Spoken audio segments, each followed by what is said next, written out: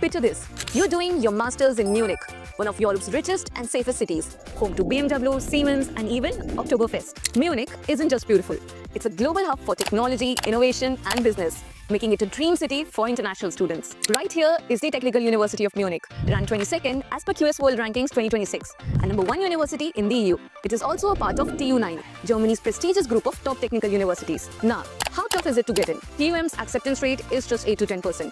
So थोड़ी मेहनत तो लगेगी. You'll need strong academics, a powerful SOP, and a proof of English or German proficiency. What are the most popular programs for masters? Data science, computer science, natural sciences, engineering, and management. अब सवाल ये है एक top 25 global universities की fees कितनी होगी?